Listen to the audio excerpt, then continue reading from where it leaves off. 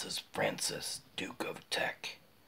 He was a nobleman that lived between 1837 and 1900. He was the husband of Princess Mary Adelaide of Cambridge.